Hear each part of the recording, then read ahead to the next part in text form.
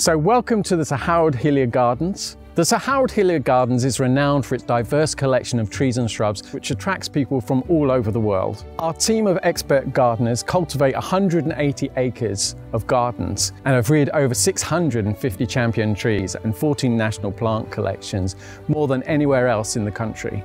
Join us on our YouTube channel where you can expect videos on how we maintain the gardens, spotlights on the most intriguing plants and how to cultivate your plants to be a better gardener. So hit that subscribe button today to get all the latest tricks of the trade to learn how to make your outdoor space a great place to be.